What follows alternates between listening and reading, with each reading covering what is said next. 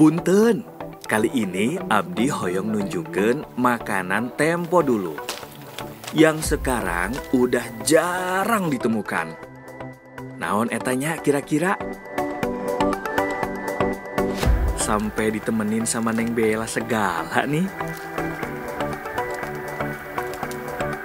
Ini namanya daun wangon. Nah, masyarakat pada zaman dulu setiap pulang berkebun, khususnya pada musim kemarau, selalu ngambil daun wangon ini. Karena di saat musim kemarau, makanan di sini lumayan susah. Makanya daun wangon ini dijadikan makanan alternatif bagi masyarakat di sini. Gitu.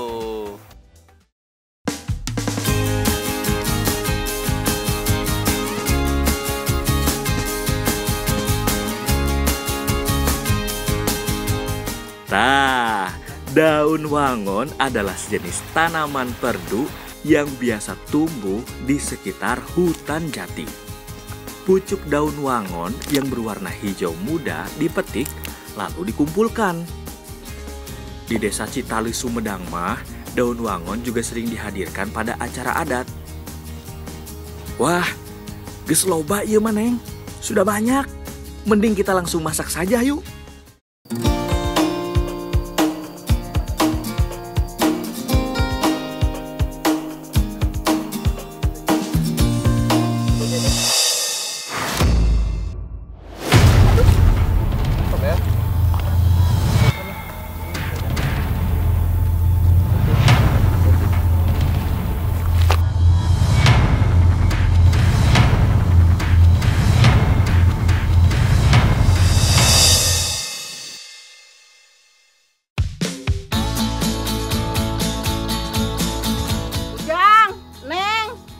Sanak daun bangona pada dipasak, tong bobogohan wae. Tari ibu saya nu bobogohan.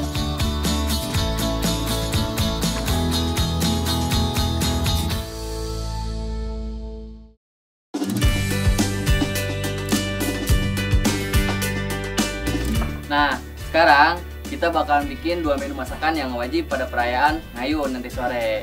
Kita bakalan bikin kue cara sama urapan. Ayo Bu, kita bikin sekarang Bu.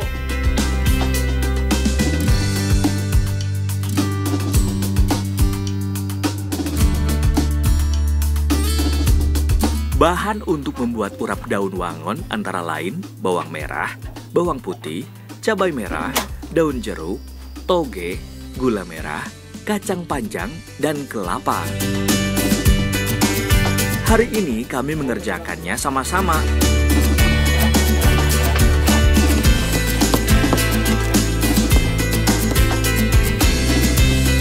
Ada yang ngiris cabai, ada yang marut kelapa, si Neng kebagian ngulek bumbu. Kalau Abdi mah bagian metikin pucuk daun wangon.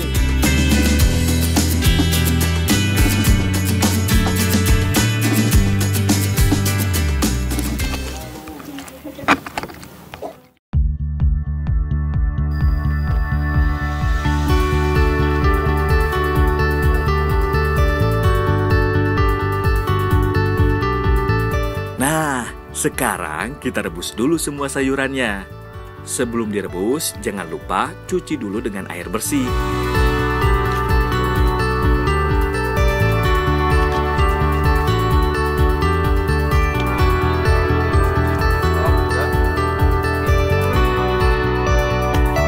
Rebus sayurannya 15 menit saja, gak perlu lama-lama.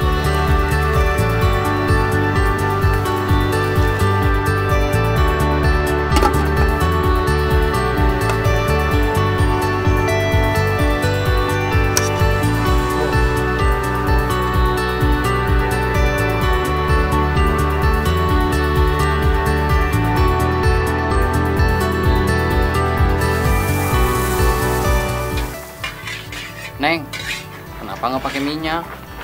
Biar lebih gurih atuh. Oh, ini. Nah, sekarang giliran Neng Bella beraksi. Tumis bumbunya sampai menguning. Kami minta tolong ambilin kelapanya. Oh, iya Neng.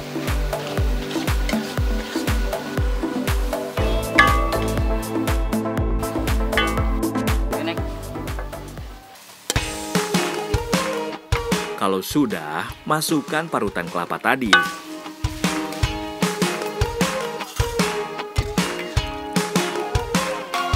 Menjelang matang, masukkan sayuran rebus tadi sedikit demi sedikit.